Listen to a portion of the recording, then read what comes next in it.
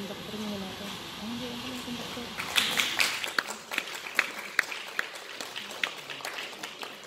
Supply ka ba dyan? Supplyan natin yung bandas.